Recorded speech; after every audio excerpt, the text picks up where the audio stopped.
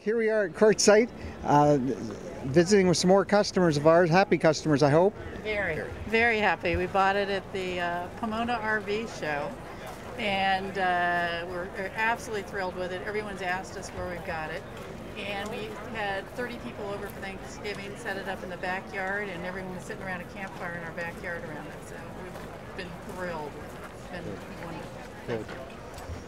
We used it again last night, as a matter of fact. Just five minutes from here. So it was easy, fires yeah. up, no work. yeah. Good. Thanks a lot. All right. bet.